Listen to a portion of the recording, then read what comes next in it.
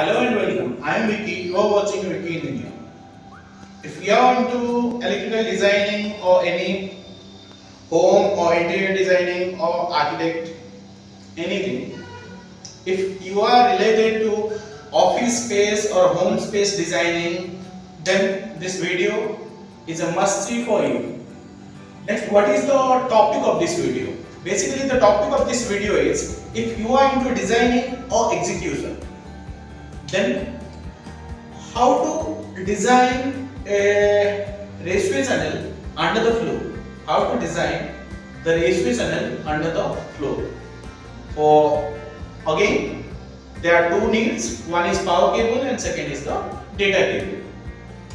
This video is purely on do's and don'ts, pros and cons on designing or execution part. This is not an overview video. If you want to see any overview video on this topic, then I am giving the link in the card button as well as in the description so that you can go through that. If you're watching still, it's my gratitude. If you like seeing this type of content, then uh, do hit the subscribe button and the bell icon near that.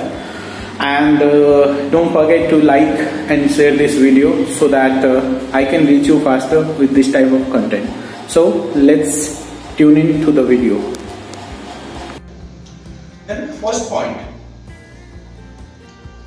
Before you are placing, basically normally if you are uh, designing, you must be designing or um, AutoCAD or next to it is Revit MEP. Basically normally broadly use AutoCAD so that we will first talk on AutoCAD. Basically you will get a so interior layout or civil layout whatever you may call from the designer team or anybody. On that you will design the services as per the layout. What to do first point? First we discuss on do's not don'ts. First do's. First point calculate how many points, how many cables you need to pass through that point. Suppose there will be a workstation, there will be a line of workstations, there will be many more need. First find out the path where you can move that raceway, data raceway from where can it can go on, when uh, from where the on which path the power raceway will go on. And first don't never cross over power raceway and data raceway. If it's your power raceway, it's your data raceway, never cross over that. If you do that, then they always there will be issue of data interruption, the bandwidth interruption. First point, never cross over power and data raceway. Always maintain a safe distance of 300 mm, at least a 1 feet 300 mm, at least maintain that distance. Next point, while planning a raceway, once you are done with the path, from which path the data will go, on which path the power will go, you always come to the point how many cable you need to run through that. Suppose there is a 8 workstations. Per workstation you need uh, 2 data points, 1 network points or 1 data, 1 network. Then it comes to 16 uh, um, Cat6 cables. For 16 Cat6 cable, minimum we use the 100 by 40 channel. So obviously it will run for 100 by 40 channel for 16 cables also. Like the same calculation. It is called node calculation. If you are into the designing field, you must know the node calculation. Suppose you are having 8 workstations in a row and in that uh, per workstation and raw power you need 2 points. 2 points. Then what do we do? Normally we run for a larger area 3 core 2.5. If it's a larger area, don't go for 3 core 1.5. The rate difference, the commercial difference doesn't lies much high if you compare it because it will if you are going for 3 core 2.5 cable then the raceway cost raceway cost falls it down. Understand? And the litigations falls low. Uh, okay. If there is 8 workstations in line per workstation you need uh, 2 raw power then for 8 8 jar 2 jar 16 they are uh, totally 16 points.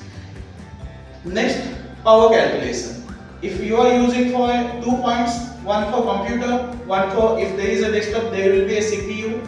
If you are using a laptop, there might be one charger point additional. On an average, it will calculate uh, 60 watt per point. Then it comes to 120 for two points, 120 watt.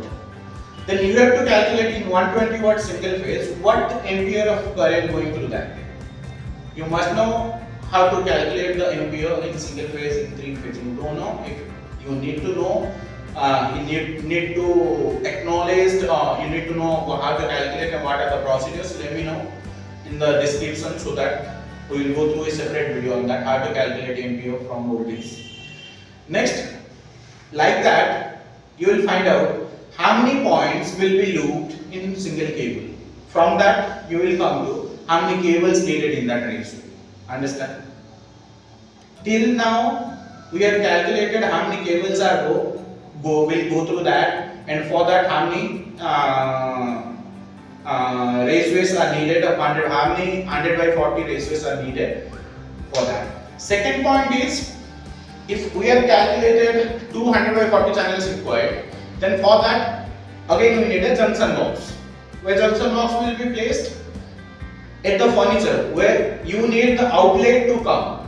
Where you need the outlet to come for your uh, service purposes. At that point there will be a junction box in the floor and you will pull out the cables from that junction box and you will mount oh, electrical beat electrical board or any modular board anything you can mount at your desired location.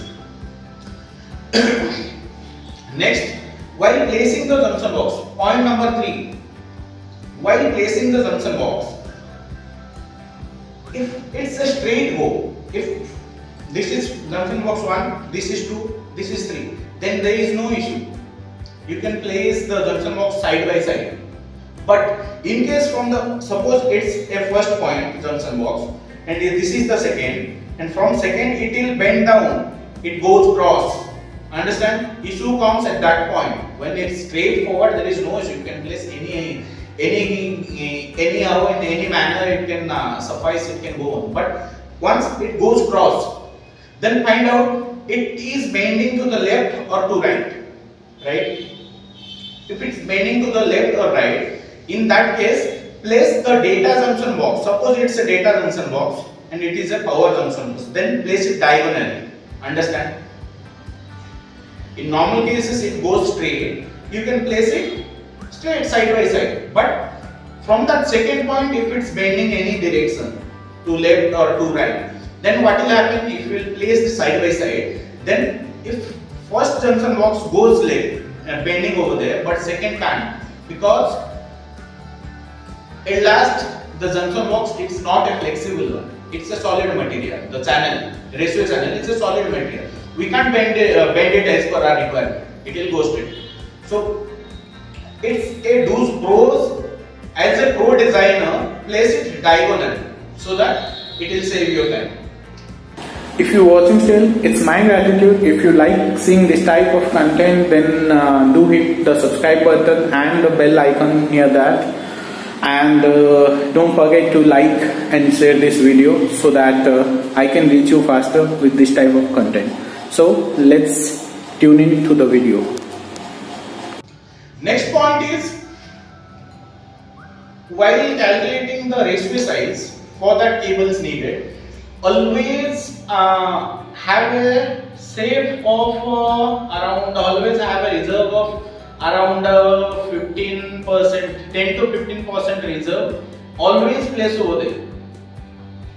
If you are calculating through perimeter if you don't know how to calculate the cables and size how many cables how many cat 5 or how many any cables will go through how much uh, the size if you don't know the calculation, I'm giving the link in the card button. You can go through that and have some good knowledge on that. Then, if you are calculating through the perimeter uh, formula, that is the thumb rule, then always don't forget to minus deduct that 10%. If it comes to 33, always take the 10% minus that is 27 to 28 cable normally go through that you always fall 5% below that. So overall you will be uh, 15 to 17 percent reserve space in that uh, raceway. If you are going by the square, uh, the cross sectional area calculation, then in that case you calculate that again you deduct the number of cables 10% cables. If there is 10 cables or 15 cables required then you might uh, keep it low to uh, one, one, one or two cables. And next point is cable pulling. This is uh, again a part of execution.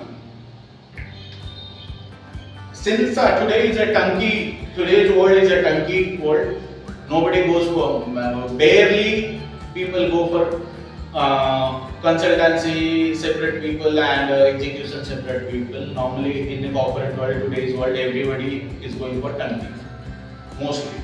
In that case, what happens? If you are an engineer, you have to execute that. So before going for any complete AC, if possible, pull the cable.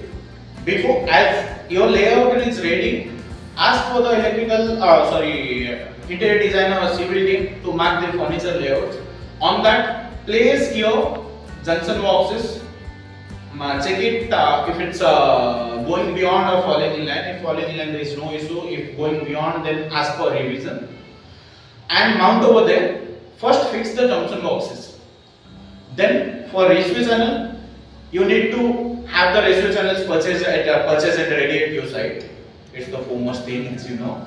Then you need a cutting machine to cut the raceways in the required shape. Some goes uh, straight, then do issue if it's going bent, going left or right, right or any bend, then you need to cut it as per the entry to the junction box required. That is uh, your electrical person who is uh, working over there. They, you know, you need the cutting machine to fix that. What to say raceways with the GI saddle and uh, fix to fix it over there with the GI saddle with some screws or anything so that it won't move here and there.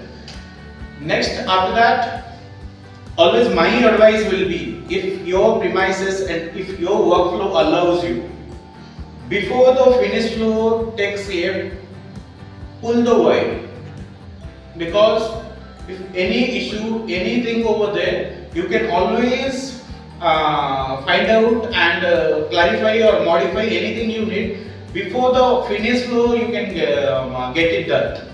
If your premises, your workflow doesn't allow, then there is also no issue. Before finish flow or the tile or any marble work, uh, any flooring work go on, uh, close your junction boxes with screw. There will be a junction box cover, cover to that, close that and where the junction, uh, raceway meets the junction box. Suppose it's a raceway. Junction box will be, raceway will go through that junction box. At the opening, close it through a masking tape so that uh, any dust or anything won't go through that and it won't block your junction boxes. And next, after the finishing, you can always, uh, furniture install, you can always uh, mount uh, the modular boards or anything on that and uh, check it up and uh, I think that's it. We have covered uh, all the points uh, on raceway. The designing the execution pros and cons what's what are the do's and what are the don'ts. Uh, I'll ask you to go through the video. If you are having any doubt or concern let me know. We'll be glad to help you and uh, if you find any point I missed out in this conversation or in this explanation let me know. We'll uh, talk together. We'll explain and talk together on that point. So for now signing off. Bye bye Vicky see you next